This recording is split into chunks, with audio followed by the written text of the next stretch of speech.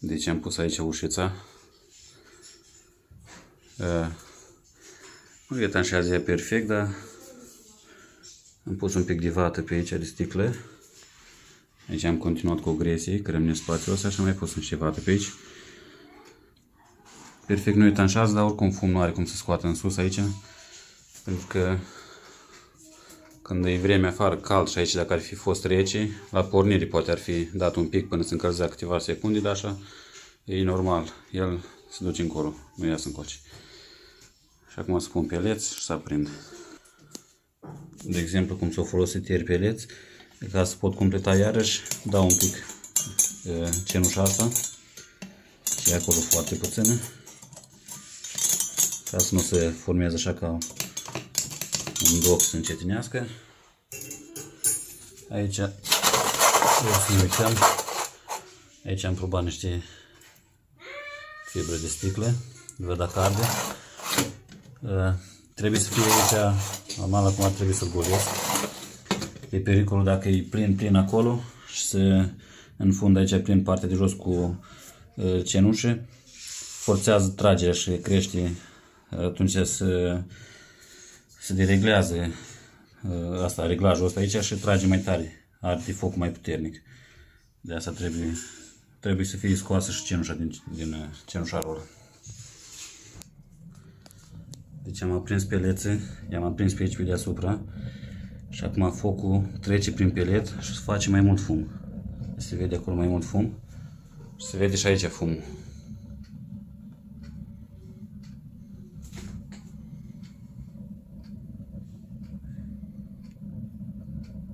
Când o să aprindă mai bine, o să vadă și flacăra mai cum trebuie. Atunci o să ardă și focul mai bine. Vortexul ăsta nu e așa de reușit cum am făcut eu la mine pentru prima dată. Din cărămide nu aveam așa multe experiențe. La turații mari o ia el așa puțin, la rotunda prea puțin. Față de ce le fac eu acum, cu tubul de la refractare la rotund iese perfect. Și aici am pus doar așa un pumn de peleți, ca să nu mai aprind pe aici, că aici dacă se umple plin, se poate aprinde pe aici. Am pus așa un pumn de peleți, l-am aprins pe deasupra, cu butelia asta. Și trebuie să las un pic să formeze jarul ăsta și pe aia să completez plin aici. Altfel îl stinge.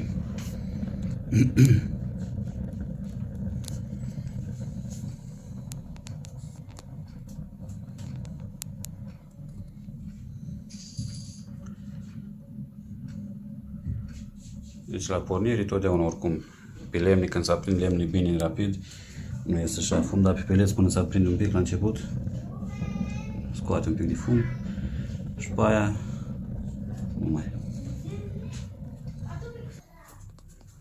Deci am pus aici peleți deasupra și abia am început să aprindă ăștia mai bine. Mai așteptăm.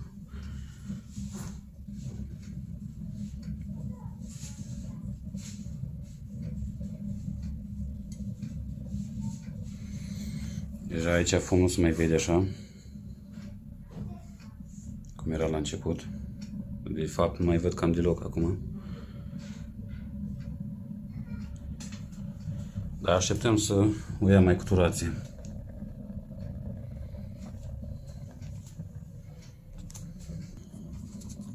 Deci acum s-a mai prins un pic mai bine.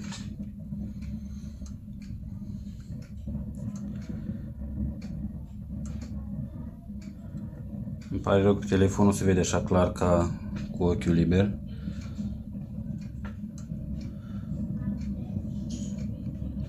Oricum, flacăra se apropie de ultimele vârfuri de flacără care, care sunt. Uh, ajunge cam în partea de sus a tubului.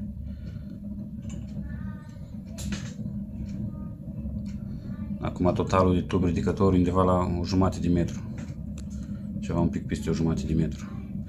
Da, vreau să văd când îi dau turație maximă. Să văd cum, uh, abia acum o porni și pompa. Oricum se simte că trage un pic de aer fals pe aici și încetinește un pic tragerea.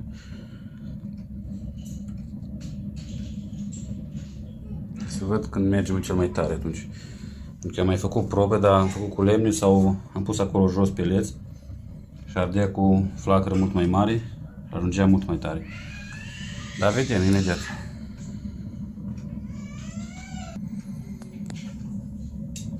Deci când apa din serpentină e mai caldă și când acolo partea cu arderea sunt fierbânte la temperaturi maxime, atunci e arderea cea mai completă. Atunci flacăra e cea mai lungă și mai curată. Oricum, fum nu se vede deloc aici, dar ea se poate încă să facă mai complet arderea când sunt temperaturile cele mai mari atunci.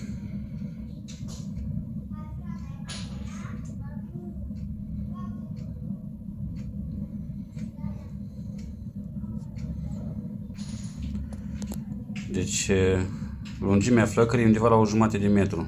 Telefon probabil, după cum văd, se vede altfel. Cu ochiul liber să văd mai bine flăcările. Undeva la o jumătate de metru.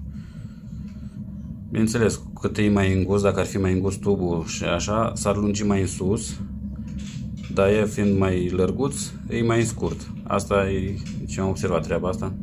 Când pornești mai tare, faci un pic de vortex, pentru că eu am lăsat foarte puțin vortex. Nu e chiar așa de reușit, dar cum fac acum cu tubul refractar în asta la rotund, iese perfect, perfect. Deci merge foarte bine la rotund.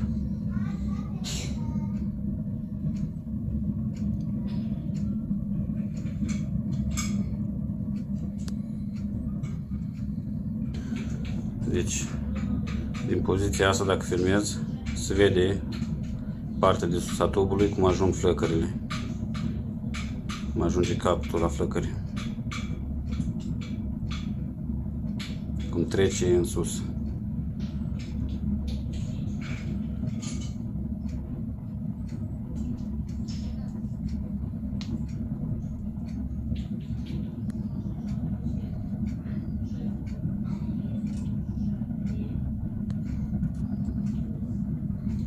Ce cum au luat-o mai tare.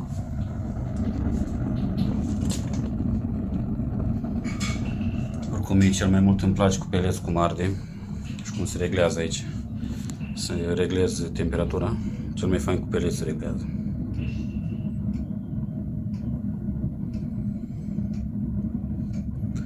Deci faci un pic de rotație.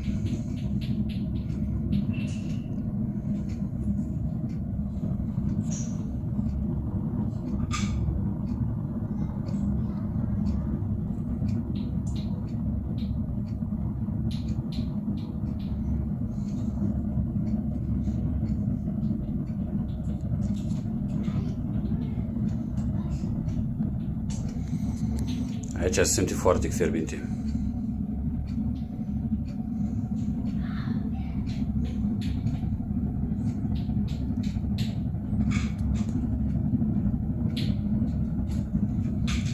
Da, când e durația mai mare, se ridică flacăra mult peste tubul ridicător.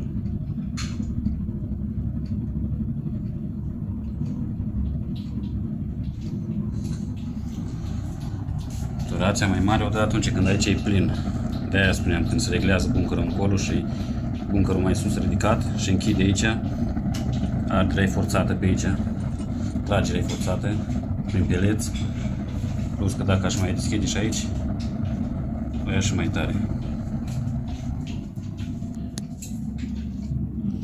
Acum am pornit a doua oară pompa, apa era rece și oricum focul cum e destul de puternic, s-a auzit aici cum făceam șuturi așa, cum începea a fierbe. Până citește asta, apa deja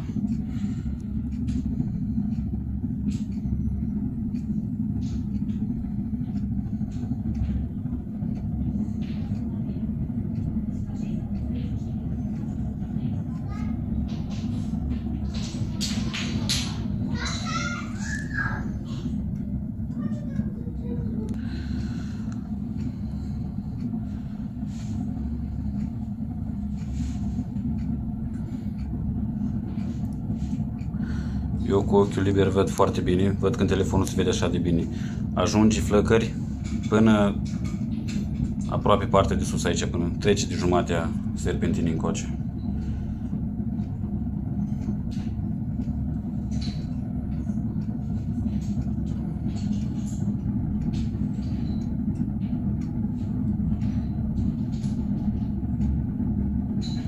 face așa ca niște aprinderi deasupra după ce se termină partea de tub ridicător încă face niște aprinderi așa.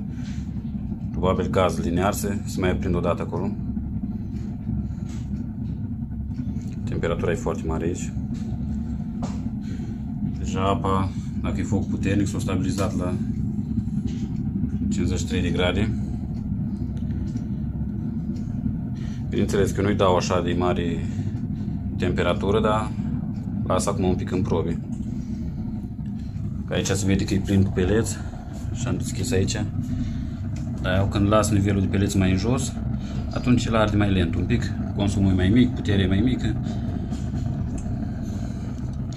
Interesul e să ardă mai îndelungat, adică să ardă mai mult timp cu consum mai mic și să mențină căldura mai mult timp, nu să ardă dintr-o dată. Cu foc puternic e bine atunci când este un pufăr să acumuleze temperatura în el și pe aia să trimit în calorifere sau deci dacă dau dintr-o dată așa parcă mai bine se vede.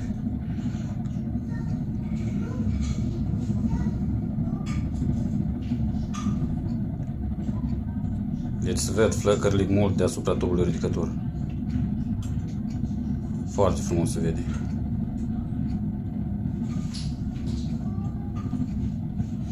Foarte frumos se vede.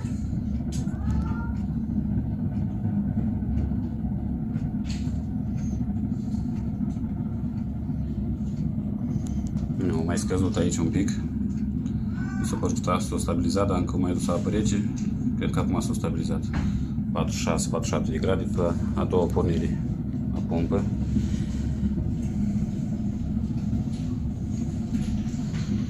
Oricum, fum aici chiar deloc nu se vede.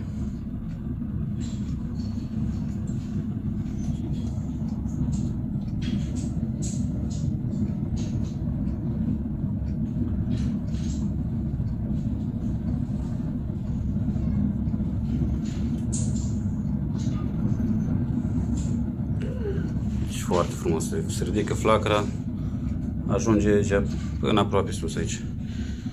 Da, o să las acum și o să scadă nivelul. Pereți să văd cum se vede cu nivelul de pereți mai scăzut. Să vedeți o chestie. Când arde tiraj forțat, parcă e mai, mai scurtă flacăra, ca când închid aici și las puțin aer. Deci uitați, e mai puțin aer. Și flacăra mi se pare că e mai lungă încă.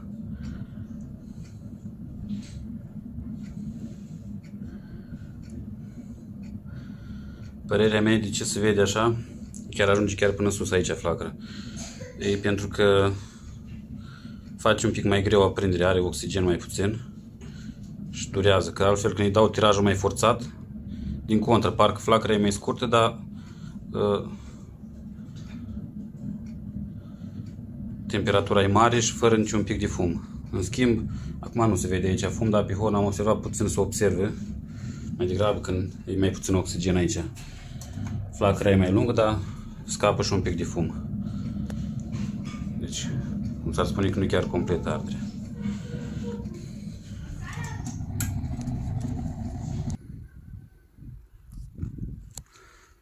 O să vă arăt diferența de fum la... Bineînțeles că acum nu este așa mult fum, că arde probabil mai bine focul la vecinul. Și să vedem la noi cum. Deci, asta e diferența la o sobă rachetă arderea.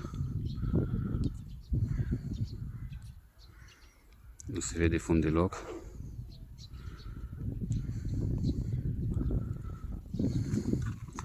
Și o sobă clasică. O sobă centrală clasică. Deci ați văzut diferența cu arderea unei sobi rachete sobă cu ardere tip rachetă și o centrală normală care, bine, fără gazificare, deci și are gazificare tot scoate o grămadă de fum și încă acum probabil ardea normal, că uneori văd că la vecinul mă refer, uneori se vede un fum parcă exagerat de, de tare. Aici au mai scăzut acum nivelul, sunt curios să încetinească un pic să văd cum se vede flacăra.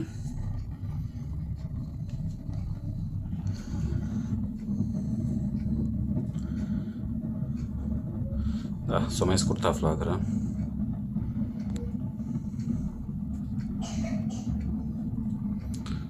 Să șterg un pic camera să o încețușat, o făcut condens ca de afară. Deci am închis iar aici, aici cu nivelul la scăzut de peleți. Și se vede cum e mai lungă flacăra, parcă iarăși. Chiar dacă sunt puțin peleți, trece de tub ridicător cu vreo 20 de centimetri. 30 chiar. Și când deschid, trebuie să pun culanțul ăsta aici. Când deschid, e mai scurtă flacăra. Oricum e mai scurtă, dar e mai curată și mai probabil face ardere complete până să ajungă mai încoace.